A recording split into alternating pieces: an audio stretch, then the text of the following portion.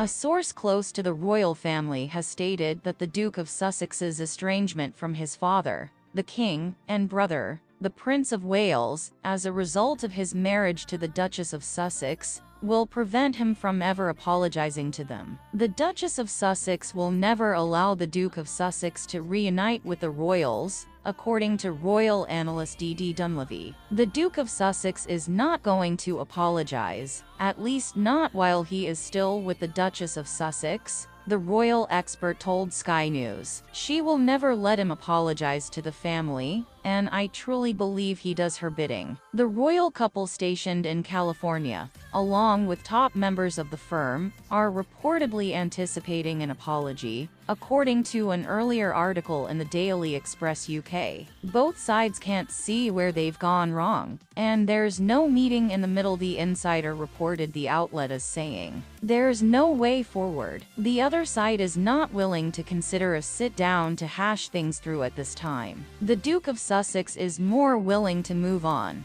Let's just say that the insider continued. It's not a case of the Duchess of Sussex being difficult. She genuinely feels hurt and would like some kind of sit down. Thanks for watching. Make sure to subscribe and turn on notifications for more of the same. See you soon.